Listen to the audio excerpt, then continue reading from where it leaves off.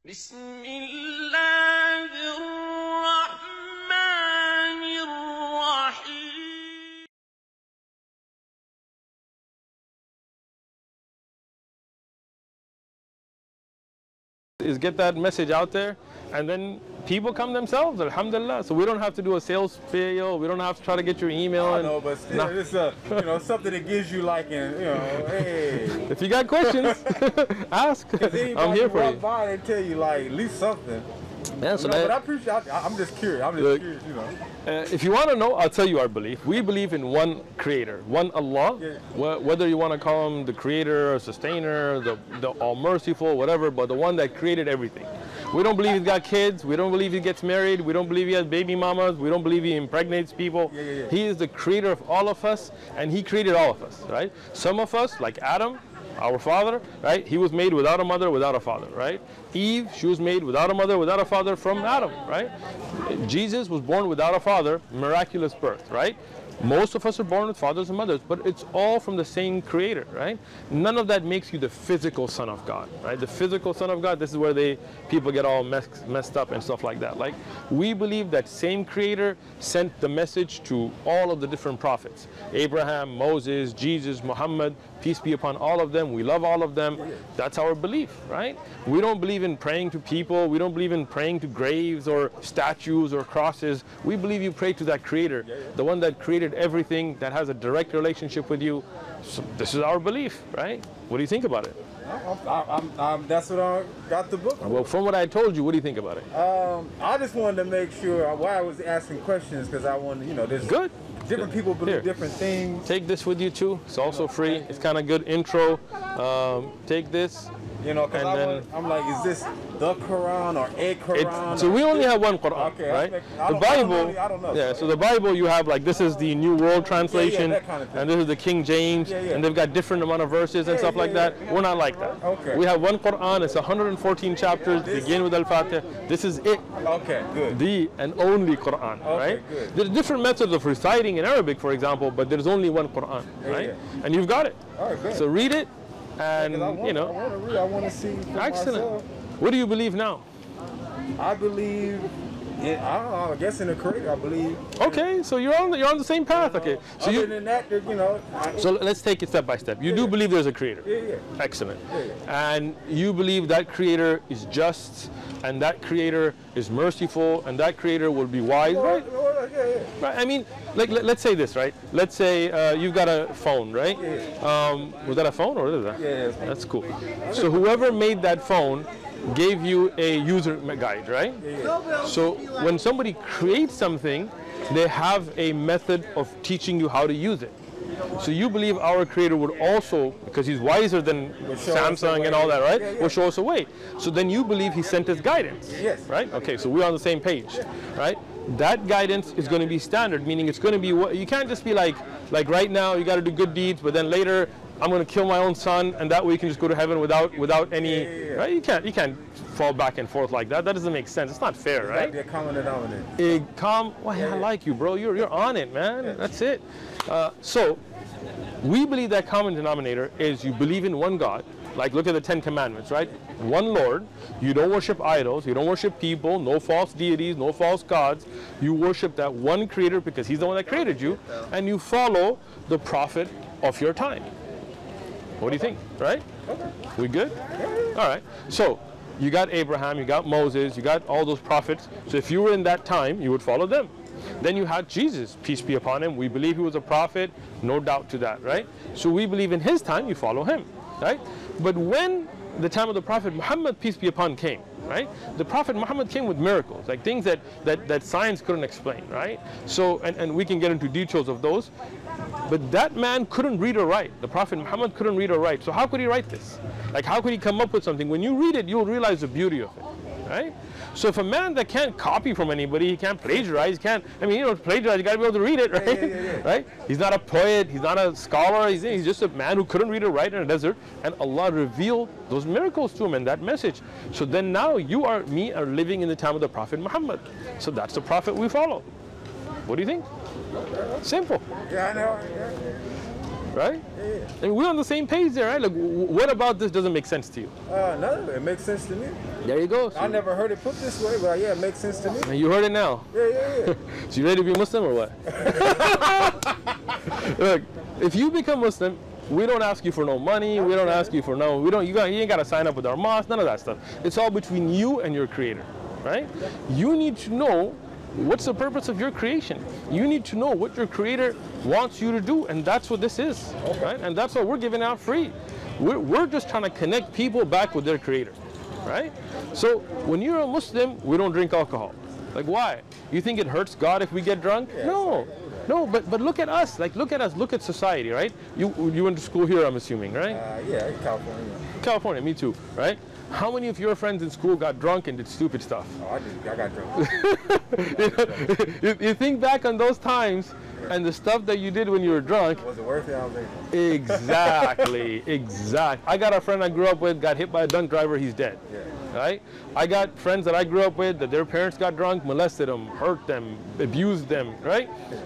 Uh, people that got drunk, you would be a perfectly good Any- person. Any other way you can think of it, just like any of that's going to, you know, interfere with your. Relationship with God. Man, you are there, bro. You sure you're not already Muslim? You messing with me, bro? Is it like a hidden camera you're I trying? just, I, I just tried to find the. You you got it already, man. How, you ready to be Muslim, bro? What you, what you waiting for? Huh?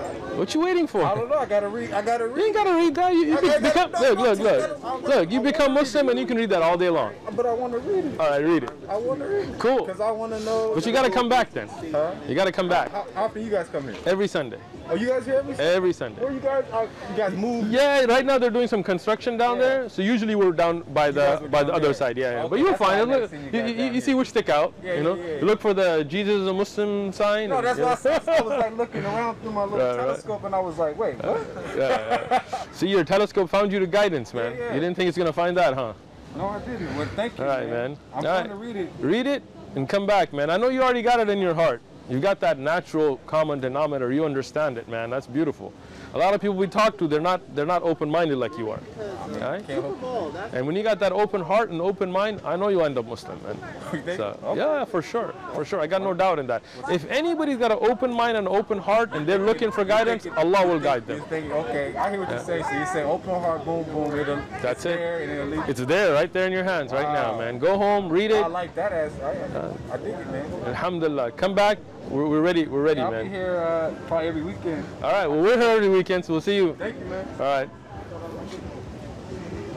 Uh, do I look like a stock trader to you? It's in investing because I'm a Muslim. oh, okay. Yeah. Uh, okay. I thought you were trying to get my advice on what No, no, stocks no, to trade. Um, stocks, um, they have. So in essence, you become a partner with a business, With a business. right? So you buy, let's say, uh, stocks in uh, Cisco. Okay. They make routers. So now you're an investor. So in Sharia, we have nothing against that. Nothing But the problem gets to be is when either they give you riba, like dividends, Dividends, which yeah. most of them don't give anymore. In the old days, but nowadays pretty finished, right? Or if they deal with haram, like they get their money from uh, riba, or they get their money from selling alcohol, or pork, or drugs, or uh, you know whatever else. But if their product is halal and they're not giving you any riba, there's nothing wrong with it. Alhamdulillah. Okay. The other question we have. I'm from Macedonia. mashallah Yeah. When people they die, after their death, we do mevlut. You do what? Mevlut. What is that? That's like, uh, let's say, a uh, how to explain it? They're like two, three hundred people. Okay. Let, that 200, that 100 people, let's say, and they they do the La ilaha illallah Okay. 7,200 times. They have to say it 7,200. times, all 100 of them. Then, But each one of them says it's 7,200. no, 70, uh, 7,200. 7,200. Okay. That. Okay. So that's for the person who dies. Right. For, So, so this is not in the Sunnah, right? The Prophet ﷺ didn't teach us this. When somebody died in the time of the Prophet ﷺ, they did the janazah on them. So we should do janazah. Yeah. But to do uh, getting a hundred people or a thousand people or ten people to say a particular dhikr, a particular amount of time, and to make a practice, this becomes a bid'ah, innovation. And the Prophet ﷺ told us, "Kullu bid'atin dalala." Every bid'ah is a misguidance. وَكُلُّ دَلَالَةٍ فِي النَّارِ And every misguidance will take you to the hellfire. Because the imams they come there and they do it. I know. Uh, uh, a lot of imams, they're not well educated, right? Or the traditions and the bid'at kind of overwhelm them. But our job is to always look at the Quran and what our Prophet ﷺ did, what the Sahaba did, uh, like Abu Hanifa and Imam Malik and Imam Shafi, Imam Ahmad, these great imams after the Sahaba, none of them did this, right? Sahaba didn't. If this was something good, the Prophet ﷺ would have taught it to us. And if, if we do it, like in many our countries they do a lot of bid'at as well, then we're saying the religion wasn't complete. The other big thing is back home, the black magic. Black magic is haram. All magic is haram. the other thing they do, they they type some kind of words because we don't know Oh, Arabic. yeah. Know, like Albanian, Macedonian, Yeah. English. They give you like a letter. Yeah. Keep it with you. yeah, it's tawiz they call it. Yeah. yeah. So, so again, this is not from the Sunnah. From the Sunnah, I mean, does it have any meaning or no? so it depends what they write. If they write some uh, alfad, words of shirk, this is kufr, right? Some people have opened these, like in Pakistan and stuff, and they have like magic words. And some of them have numbers. If they write good, if they write something, Then it's still bid'ah. Bid'ah. that. Because the Prophet didn't do it. This always because you go in a bathroom. Yeah, of course. there. And, and uh, first thing is, the Prophet Muhammad sallallahu alaihi wasallam taught us how to protect yourself from magic. What's the best way to put? The best thing, make your adhkar, your dua. Like there are many. Um, inshallah, if you come to the masjid, I'll give you a small book on it. But an easy one I can tell you. For example, before going to sleep, you put your hands together. You go, you like this, not spitting, but spatting. And then you read Qul huwallahu ahad, Qul a'udhu rabbil falaq, Qul a'udhu rabbin nas, and then you rub your body, and you do this three times. It's Sahih Hadith, right? To read Ayatul Kursi before going to sleep, right? Make the adhkar of waking up, of sleeping, when you're going to the bathroom. For example, you make the dua, Allahumma a'udhu bika min al-khubati wal right? It protects you from jinn and things, right? There are many adhkar, yani. So making those sunnah adhkar, this is what you should do, right? Reading the Quran, the Prophet ﷺ told us that a jinn cannot stay in a house where, where Baqarah is read three nights, right? Three days. So that means if somebody is affected or thinks there's an effect, read Surah Al-Baqarah three days in a row. So these things are in hadith, the Prophet taught us, right?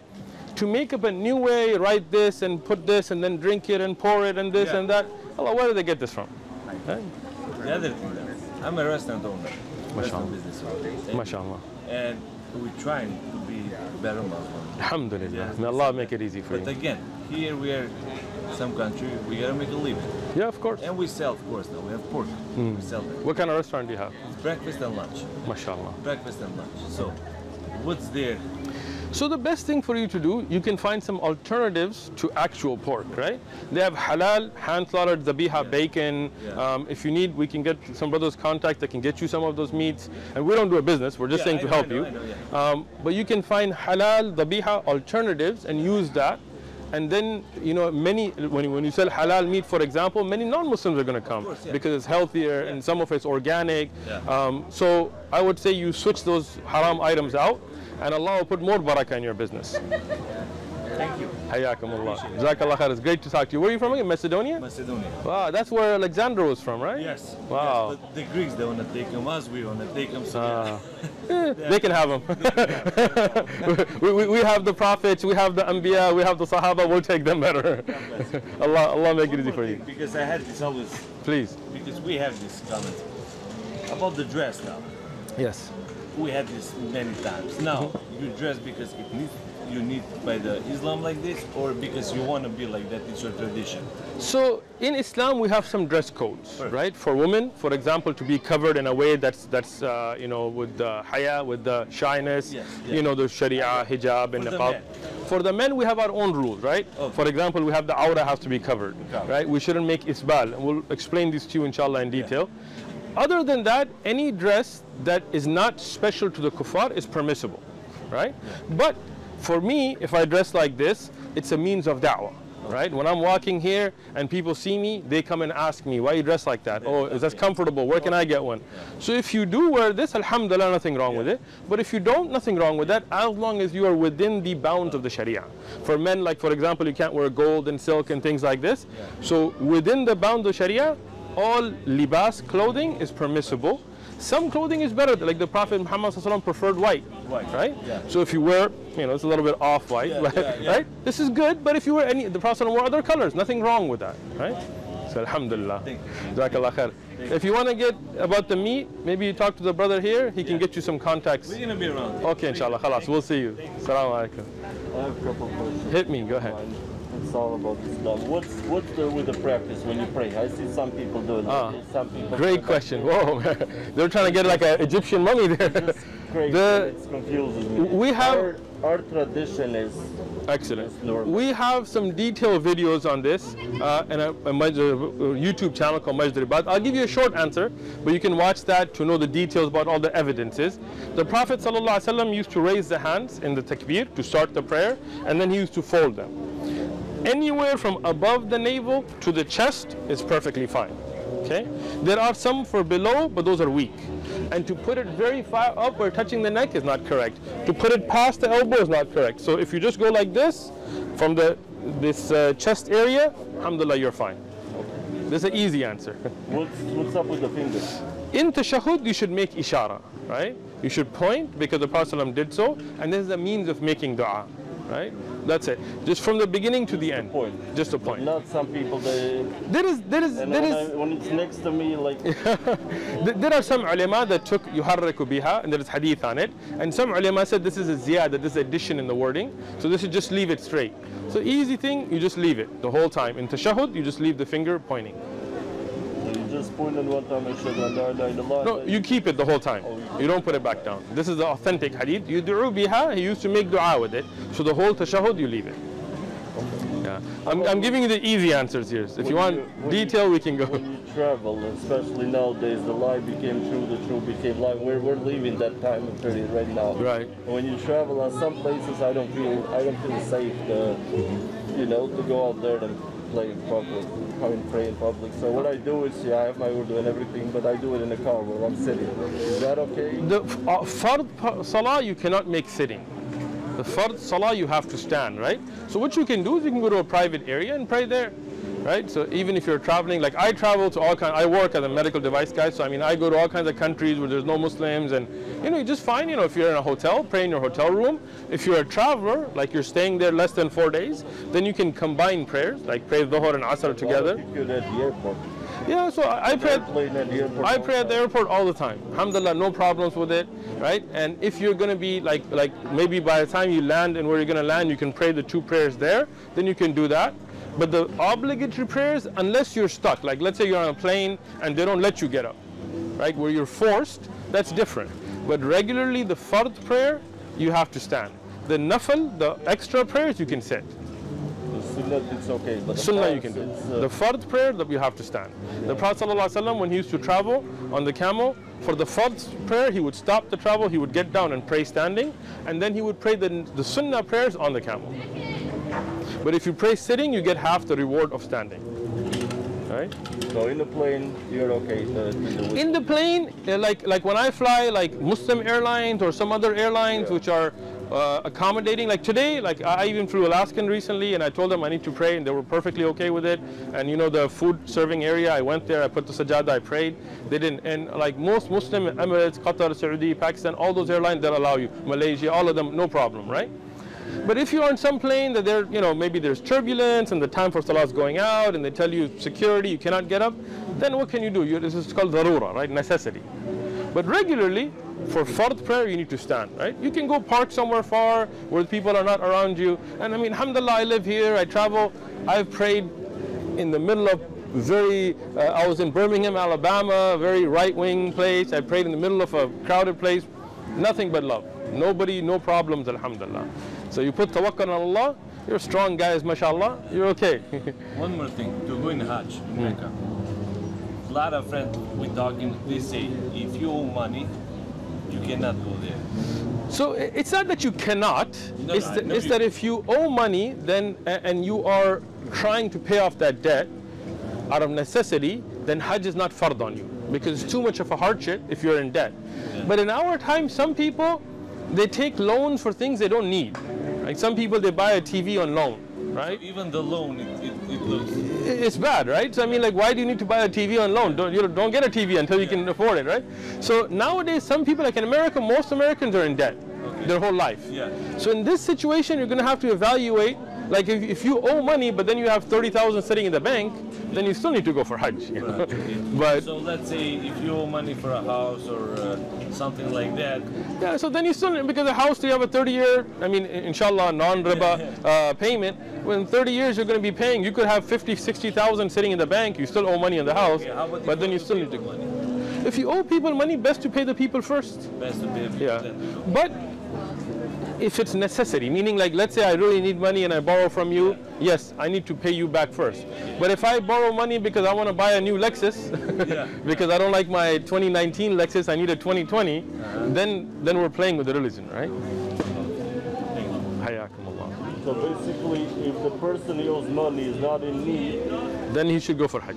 If he has enough money to go for Hajj, either he should pay the debt off, but if he's living with the debt, then he needs to go for Hajj. How you doing? Any questions? You good? Thank you. Assalamu alaikum. Assalamu alaikum. جاء الحديث بغربة الإسلام فيبكي المحب لغربة الأحباب فالله يحمينا ويحفظ ديننا من شر كل معاند سباب